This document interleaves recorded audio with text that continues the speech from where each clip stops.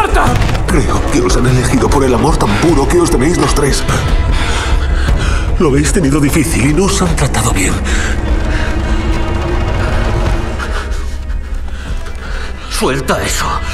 Y aléjate de Eric o te demuestro que fui elegido para volarte la cabeza. Suéltalo ahora mismo o te mato. Nos estás condenando a todos. Condenas a tu marido, condenas a tu ¡Estoy hija. harto de ti! No pienso escucharte ni una palabra más.